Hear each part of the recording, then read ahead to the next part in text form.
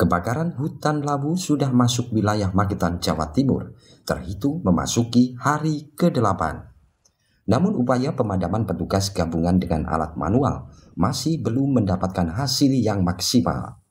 Karena itu, opsi terakhir pun dilakukan, yaitu pemadaman dengan helikopter milik BNPB nasional. Hari ini waterbombing dilakukan di kawasan hutan lindung di wilayah Magetan agar api yang membakar area Gunung Lawu segera dapat dipadamkan secara total. Dikatakan Beni Andrian, asisten Bupati Magetan, saat ditemui di sela acara di SMA Negeri 1 Magetan. Ia menjelaskan upaya pemadaman api dengan helikopter waterbombing tidak dilakukan. Dalam satu hari, ada 17 kali pemadaman yang menggunakan satu heli milik BNPB ia belum mendapatkan informasi tentang jumlah titik api yang ditangani. Dari BNPB ya, diturunkan di Kabupaten Magetan, gitu. Jadi di daerah Bedakung kemarin sudah di, di apa, uh, diberikan water bombing ya dari helikopter BNPB dan harapannya uh, sudah selesai lah ya. Artinya apinya sudah padam.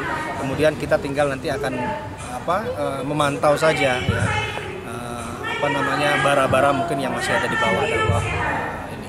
Mungkin sudah ada laporan masuk dalam satu hari kemarin ada berapa helikopter yang satu, satu, satu. Ada berapa titik itu satu? Uh, air. Kalau titik saya belum dapat uh, ininya ya informasinya ya ada berapa titik. Tapi yang jelas kemarin uh, desa Bedagung ya yang di, di apa namanya waterbombingnya. Artinya sudah dapat dipadamkan ini? Insya Allah, ya saya Allah sudah dipadamkan. Posko akan sampai kapan Pak? Uh, kita belum tahu ya kita belum tahu. Yang jelas kita tetap tetap memantau gitu nih melakukan monitoring gitu ya. Kita kan juga tidak bisa percaya hanya dari atas saja mudah-mudahan nanti dia betul-betul memang selesai gitu gitu tapi di bawah ya. Asisten Bupati Magetan Beni Andrian menambahkan saat ini api terpantau sudah padam. Namun akan tetap dilakukan pemantauan bila ada bara yang masih menyala di bawah.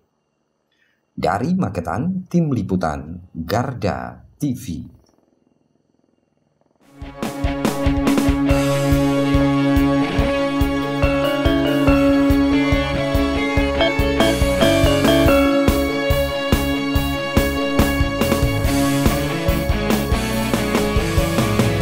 Garda Revolusi